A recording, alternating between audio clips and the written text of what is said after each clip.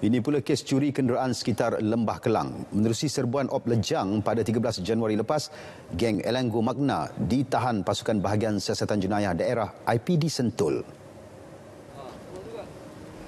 Ketua Polis Daerah Sentul ACP Beh Eng Lai memaklumkan dua individu tempatan berusia 35 dan 50 tahun itu telah bergiat aktif mencuri kenderaan sejak Disember 2019 dengan mensasarkan lori dan kereta model lama untuk dilerai dan dijual sebagai alat ganti.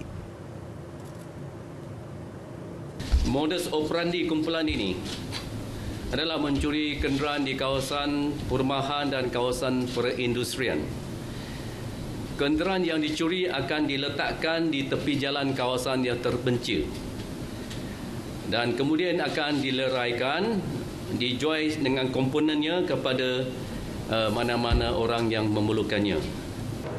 11 kenderaan curi terdiri daripada 4 lori, 4 van, 3 kereta, 2 alat jana kuasa muda alih dan 40 unit monitor komputer dirampas dengan nilai anggaran RM120,000.